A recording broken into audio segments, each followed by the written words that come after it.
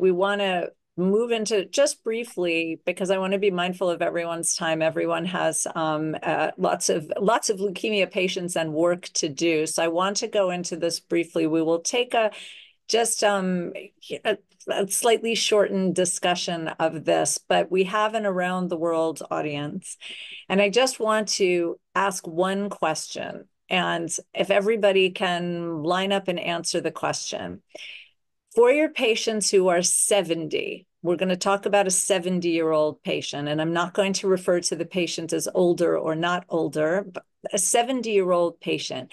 Can I hear from the teams who are still using um, seven and three or CPX for those patients? And what I'm looking for is just to understand who 70 and above who in your practice is getting either a seven and three or CPX? And Jeff, I'm sure you're going to want to talk about the CPX, so maybe you can kick it off. 70 and older.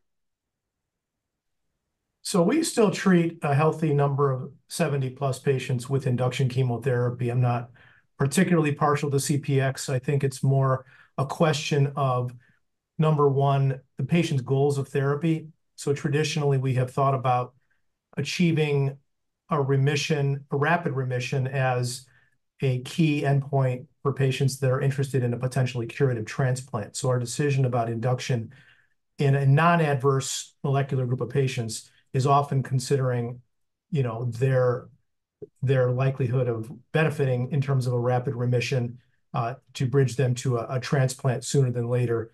And that I, realize that's changing and that the the uh, transplantability of HMA-VEN patients is also on the rise, and certainly reason to think that there's going to be opportunity to do that.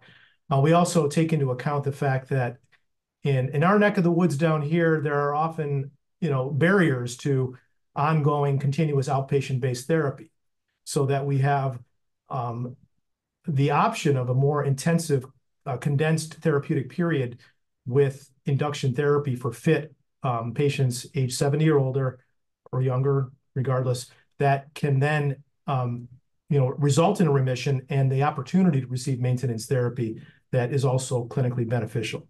So there are a couple of different uh, ideas that we utilize to kind of decide whether patients are induction candidates, namely based on fitness and, transplant eligibility, but also, um, you know, what are their goals for care and how realistic is it to be able to treat them for months and months and months on a, a fairly difficult outpatient regimen that requires a lot of monitoring and, and management, especially in the community. Okay. Others, I want to just hear is is any is anybody, let me flip the question to make it easier. Is anybody not using intensive induction above a certain age, 70 or otherwise? Does anybody have a clinical practice or a cutoff where not using it over 70? Well, we use intensive chemo for patients with favorable genetics according to ELN, and uh, and usually recommend uh, lower intensity approaches, basically clinical trials for the other patients. Okay. So seven and three intensive therapy is still alive? Uh, yes, for favorable genetics. Okay, favorable genetics. Okay. Germany, Lars or Uwe, what's happening like with is there yeah. a shift away from intensive?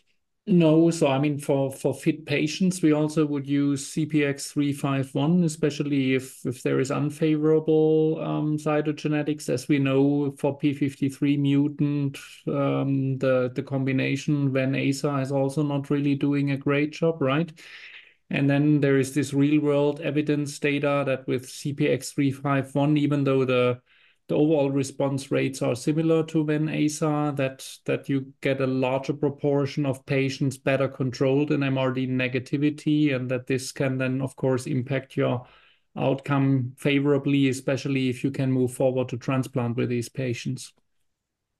Okay, so I want um I want to hear also from other parts of the world because I, I, I was trying to be a little bit Machiavellian in in framing the question because whenever you hear older, that is supposed to shift everyone to an HMA Ven discussion, and I don't find that that's the case. I find that the answers are like what I'm hearing that there are still plenty of use case scenarios for intensive chemotherapy, and that all of a sudden when you say older, I'm not getting an answer that every everybody just uses HMA Ven for everything. I'm curious though, so we have, um, I'm not sure if um, our colleague Dr. Tien from, Kent, are you still on in Taiwan? What is what is happening for intensive chemotherapy? Again, I'm focusing older, but whatever you call older, 70 and above.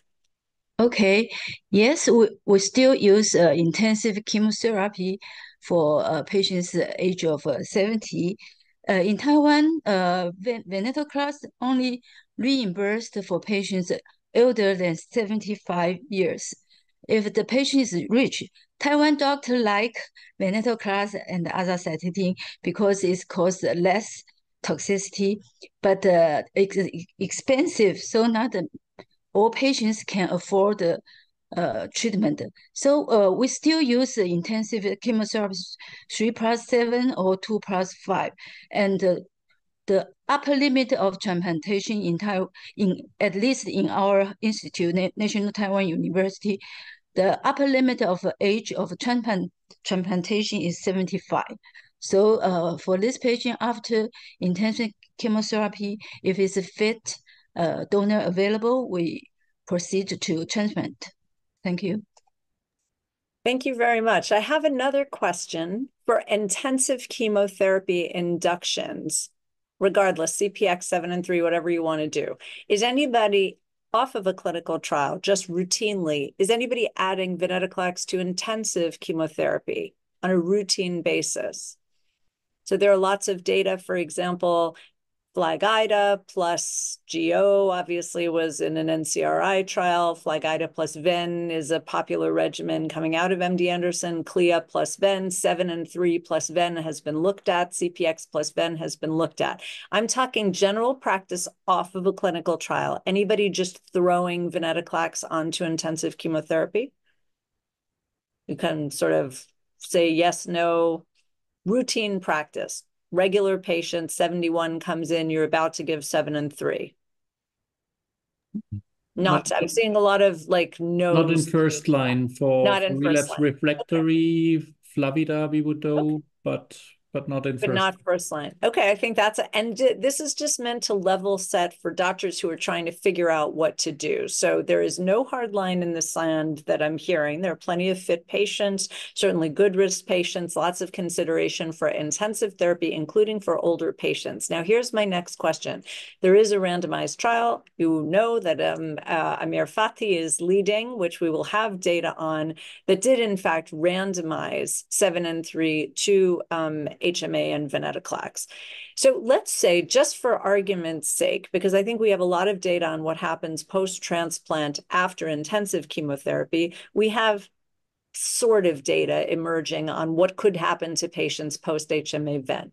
Let's say that we're sitting on this discussion and we know that that's a positive trial. Let's just say it's just as good to get HMA ven versus intensive chemotherapy. Will you how will you interpret those data? Are you anxious to switch away from intensive chemotherapy and just be done with it and move to HMA ven? Or will you need more information even after that trial is done before switching, let's say, a 50 year old to HMA ven? Let's say it's just the same. Everything is the same in that trial, looks, looks equivalent. Charlie, you're a transplanter, so you know where I'm going with this. So what what what are we going to do? Are we going to just take the randomized trial and say, okay, chemotherapy is dead? Yeah, well, it's not as simple as that, is it, Gail? Because a lot of this is around disease biology, uh, predicted CR rates with intensive chemo, and day 60 treatment related mortality. So I think uh, it's very likely indeed, um, and I think, you know, Amir is to be congratulated for this study, that uh, in adverse risk cytogenetics, particularly older people who you want to take to a transplant or maybe with a bit of comorbidity or something, where you know that intensive induction chemotherapy doesn't give you very good CR rates and there's, you know significant day 60 treatment related mortality, that to move to a lower intensive strategy that has an equivalent CR rate and plausibly better transplant outcome because of lower NRM based on Jeff's uh, CPX data, uh, I think that's a very easy sell, Gail. I think the challenge will be to look at a bunch of patients where you still want to take them to transplant, where you can predict higher CR rates potentially with um, induction chemotherapy and acceptable treatment related mortality. So, my sense is that the use of actually a Ven-Aza doublet will potentially be a real advance in the high risk population. But if you want my opinion, future studies should incorporate triplets. I think, you know, there's a gimme here, isn't there, with a triplet in the FLT3 mutated space against intensive chemo. And as we develop other triplets, I think that that will allow us to have a higher CR rate that I think for many of us would be the limitation in good risk cytogenetics in the older population at the moment. I don't know if Julie is still on um, from Canada. I'm curious because there, I know that there have been um, quite um, challenging sort of venetoclax restrictions, perhaps as there are in in Taiwan too. I think we have to be sensitive of the you know the approvals of the agent. That even if there is a trial that shows equivalence, how easy would it be to to adopt um, an HMA uh, ven based regimen for somebody who is not a frail patient? I'm not sure if she is still on. But let me move, let me move then to just ask the rest of you, when the when the title of a slide says older patients, um, how should we advise practicing clinicians to make the decision about what would typically be the the the sort of standard intensive versus low intensity because age we just spent the last 10 minutes doesn't seem to matter. I think biology matters. But if we have to make a statement to practicing decisions can can uh, practicing physicians is there actually an actual numerical age cutoff that we could propose that we are no longer finding ourselves using intensive therapy if you just want to advise somebody in practice that if you have an X age patient or no. So really, I mean, it's such a tough question to answer, as you know. Um, and we don't typically advise based on absolute bio uh, uh, chronologic age without considering other things. But my, my practice in general is that um, as imperfect as it is, you know, we know that, uh, you know, the, the uh, VIALE-A study looked at patients who were either over age 75 or had significant medical comorbidities, and that that was sort of a, a guide a guideline for identifying patients that actually benefited from clearly benefited from aza-ven compared to the standard of care. So in general terms, I typically advise an AML patient over age 75 to go down the route of lower intensity therapy with the caveat that if they happen to have, um, you know, uh, you know, an 8;21 or an inversion 16, um, that and, and they're and they're exceptionally fit, that we could consider therapy with um, induction because of its potential curability. Maybe HMA-ven is also curative in those patients, but we just don't have enough, I think, data to really guide us yet. So in general, I, I, I have been using the 75 as a general guideline, but not absolute. Anybody else feel differently about that? No. Okay. So, I mean, I think that what I think that the the discussion is leading around the fact that we think we can actually have better outcomes for older patients than we used to. And that includes patients who historically have been defined as over 60, then over 65, then over 70, then over 75. So I would actually argue that the discussion should be flipped to make sure that patients are truly being treated for AML. Because again, the point of this forum is also to be educational for doctors who might not be treating a ton of AML all the time. I actually, I'm going to make a couple of controversial statements and then you guys can react.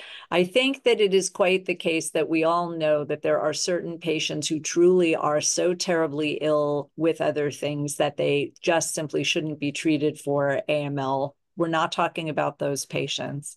I personally have not been hanging single agent hypomethylators in a very long time on anybody, regardless of age, with the possible exception of TP53 patients who truly, truly, truly are terribly frail. There would be zero consideration of anything more intensive. I don't think venetoclax adds much. But I think we can do the most from an educational perspective by saying that HMA Ven puts a lot, a lot of people actually into remission, and that we should make sure that we are treating older, older patients and not giving them single agent hypomethylators. Now, that's a controversial statement. So I'm curious from around the world, are there any of the much older patients who are still, other than TP53, which I think we all feel venetoclax doesn't do much for, but is anybody getting single, giving single agent HMA to older, older patients? We're now moving away from those who might even get intensive chemo. So if silence means no, that's good. So we're all doing double, we're all doing double induction, even for patients who seem frail and much older. Yeah, I think Gail, I would I would just venetoclax is helping. Go ahead. Mentioning that I agree in general that we're treating most of our patients with HMA ven. Um, I do have occasion to uh, treat the frailer patient who may have circumstances that make it very difficult for them to withstand maybe the severity of the cytopenias and the need for as frequent monitoring um, to consider starting out with single agent HMA, reassessing their disease, and adding venetoclax if it turns out that they're not responding sufficiently after a cycle or two of, of AZA or decitabine alone. I have done that on, you know, infrequent cases where, I think that the situation warrants it. So it's not completely unreasonable to take a, more measured approach in, in certain patients that have, you know, those potential difficulties. I would argue that um, the I think the combination is definitely a higher CR rate, and usually for these patients, getting into remission faster is a good thing. One thing that I would throw out for consideration also is that I think many of us feel that it has been really shown left, right, and center that 28 days of venetoclax is really a lot. The package insert is a lot. And a lot of us have moved you know, Jeff, for the patient that you're talking about who is a, well, can they really get through this? I will absolutely confess to things like 14 days of venetoclax instead of 28 or 21 days and do a marrow. I think that there is flexibility there that is really being shown that 28 days is, is a lot. I think obviously watching the concomitant medications also in terms of cytopenias is really um, important. But I think that to, to, I think I want to close this just to, to be mindful of of everyone's time. I actually think it's really valuable to have an induction chemotherapy for older patients slide that goes into a discussion of intensive chemotherapy. I think that's important to recognize that there are still patients who, first of all, the definition of older, and secondly, intensive chemotherapy in AML is not dead. The second thing is to be quite selective about trying to, you know, to make sure that the patients really are given a chance for remission. Try to give them as much treatment as you can to get them into remission. See if you can get them through some form of um, of HMA ven. I think the days where people are saying, oh, this patient is too old or too frail to get combination therapy. I think that's not happening as much anymore, which is a good thing because a lot of these patients can go into remission if they are carefully managed. And I really want to thank everyone for staying on the line.